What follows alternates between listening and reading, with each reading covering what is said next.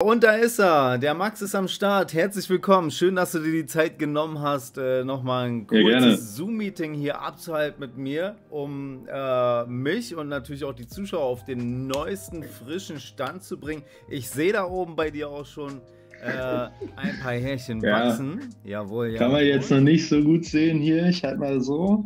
Ja.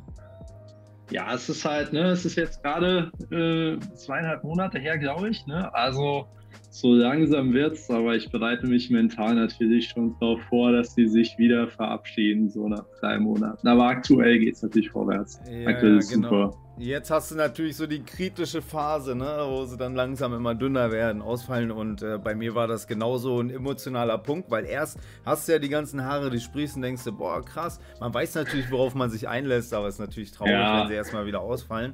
Und man guckt jeden Tag, ah, kommt da wieder was? Nein, es wird weniger.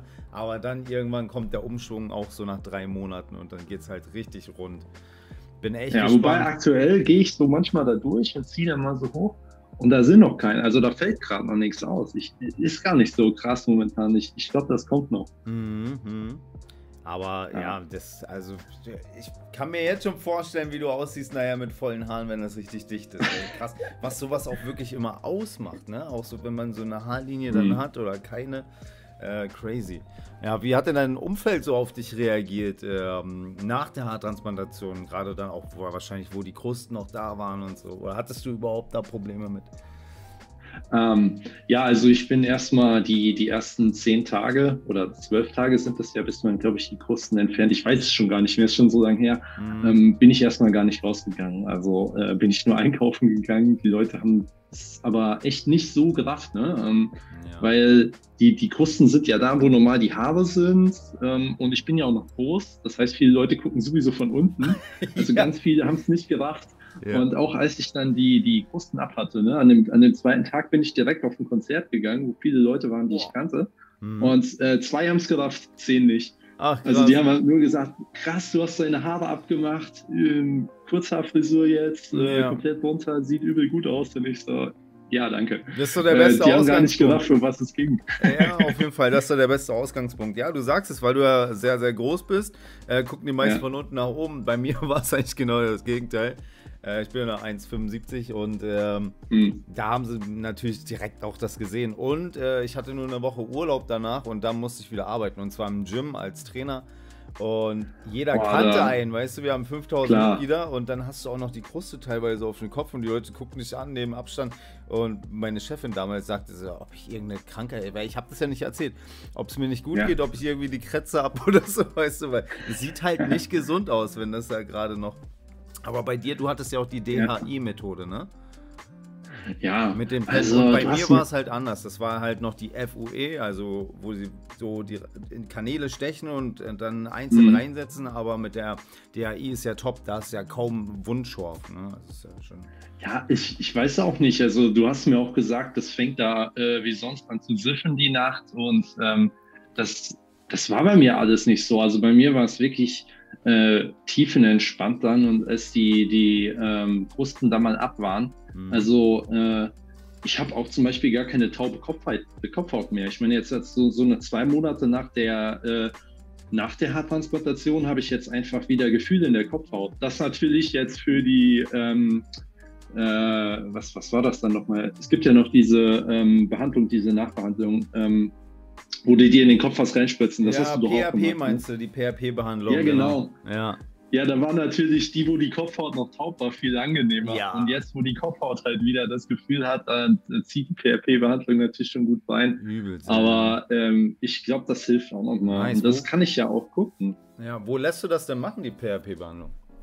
Das mache ich direkt hier bei Elite in Frankfurt. Die haben Ah. äh, so, ein, so ein kleines Office, äh, das äh, hinten im Steinweg. Okay, nice. Ähm, genau. Und äh, da vor Ort einfach äh, habe ich jetzt schon die zweite Sitzung hinter mir. Geil. Äh, mindestens zwei kommen wir noch. Mhm. Ähm, und schauen wir mal. Ich habe ja hinten, ich habe ja echt äh, 4700 Grafts gehabt. Das war schon eine Menge. Ja. Aber für hinten meinen Tonsurbereich hatten sie nicht mehr genug. Mhm. Und jetzt gucke ich einfach mal, ob das vielleicht mit der PHP-Behandlung schon weggeht. Also aktuell sieht es echt gut aus und Ja. ich benutze ja auch dieses äh, dieses Drei-Monats-Set mit diesem ganzen Zeug da mit, äh, das, das, sind ja die äh, Keratin-Tabletten drin, da ist ja dieses Shampoo drin.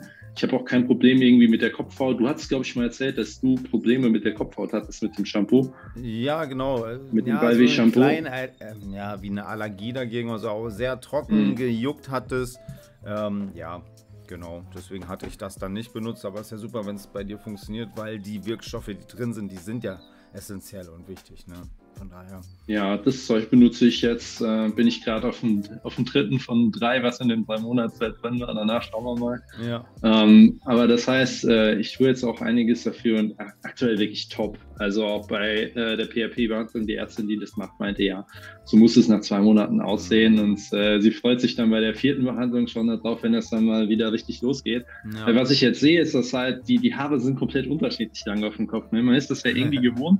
Klar, äh, an manchen Stellen wächst schneller und an manchen weniger schnell. Das heißt, beim Friseur, der schnellt ja immer irgendwas ein bisschen mehr weg. Ja. Aber es ist wirklich krass, das habe ich halt hier teilweise Haare nebeneinander. Das eine ist, keine Ahnung, zwei Millimeter lang und das andere ist schon knapp zwei Zentimeter lang und hat den Turbogang eingelegt. Und ja. äh, das, das irgendwann gleicht sich das ja mal wieder an und dann sind die hoffentlich schnell genug, sodass dann auch die Frisur gleichmäßig ist. Ja, absolut. Ja, das ist auch gerade am Anfang, weil manche Haarfollikel können sich schon schneller regenerieren, die sind schon mhm. fest und die anderen brauchen ein bisschen mehr, weil ja auch die ganzen Blutgefäße mit verbunden werden.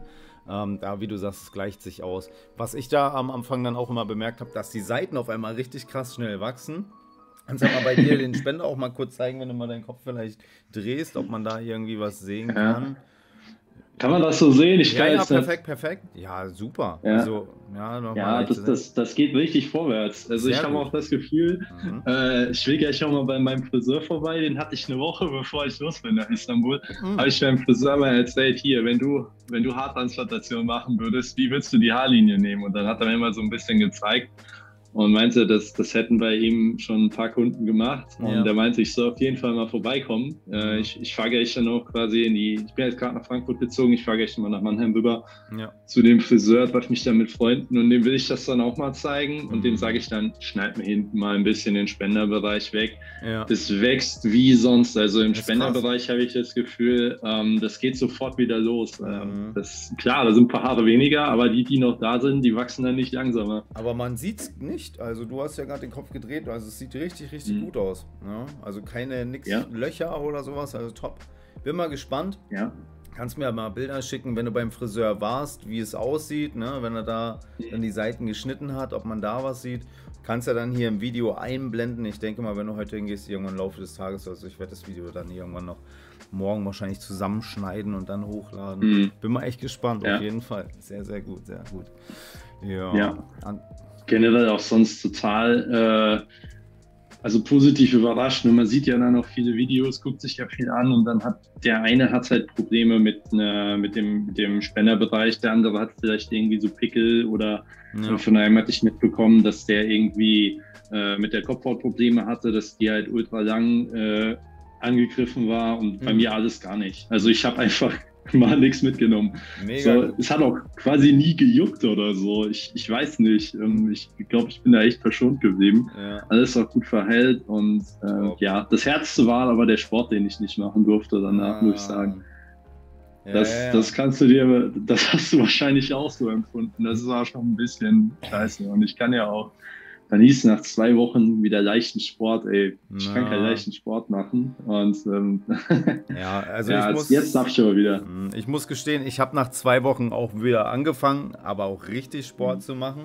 Also auch schweres Training, weil ja. ja. bei mir ist ja auch ein bisschen wie eine Sucht nicht, aber es ist halt so mein Lifestyle und es gehört dazu. Mhm. Und ich kenne auch andere, ja. die es durchgezogen haben, aber die können dann natürlich nicht garantieren, ob dann wirklich alles so äh, bleibt, wie es ist oder wird, weißt du? Aber mhm. ich kann mich auch nicht beklagen. Alles top, alles top. Haare sitzen noch. Ja. Jetzt mittlerweile, ey, warte mal, wann war denn meine erste? 2018. Ja, vor vier, ja, ist das schon wieder vier Jahre her. Und die Leute sagen ja, nach ein, zwei Jahren werden die dünner, aber ich, ich bin zufrieden. Also bei dir wird es auch ja. richtig stabil. Du musst dir mal ein Video von mir angucken. Ich glaube, das ist zwei Monate Post-OP nach meiner ersten HT. Mhm. Jetzt mal Haare wieder richten. Und da sah ich aus wie du. Da war wirklich, das ist crazy, was da noch passieren wird. Also du kannst wirklich richtig ja. gespannt sein, ja, Mann. Also da geht einiges noch. Ja, ich freue mich. Ja, das Krasse ist ja für mich schon, jetzt, jetzt schon. Weißt du, ich hatte ja nie eine A-Linie so richtig. Also bei mir ist das ja super früh losgegangen. Ich habe ja schon zwischen 17 und 19 die meisten Haare verloren. Mm. Und äh, alleine hier, dass hier unten die Haare hochgehen. Normal waren die Haare irgendwo hier hinten. Also ja, das hat sich verlaufen, ne? Ansatz, der so, der so vertikal runterging, der hier so direkt runterging. Ja. Und jetzt kann ich halt einfach von der Seite halt auch schon mal Haare sehen. Ja. Das ist halt jetzt schon, das ist halt jetzt schon krass, wenn ich jetzt überlege, das wird wahrscheinlich noch mal äh, doppelt so viel ja, oder das wird ja, viel drei, Ich würde sogar sagen dreimal so viel oder viermal so viel. Also das ist wirklich, also das ist crazy. Vor allem über 4000 Grafts. Ich hatte ja, glaube ich, wie viel hatte ich? 3,2. Ja, mhm. und äh, von daher, da haben die ordentlich was reingeknallt da bei dir. Ich bin echt gespannt, ja. was die Zukunft so mit sich bringt. Ähm, ja. Genau.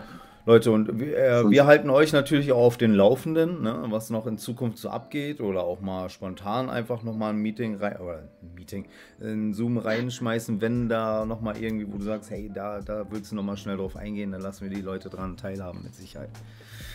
Genau. Ja, gerne. Top, top. Ja, gut. Äh, ansonsten von meiner Seite erstmal nichts.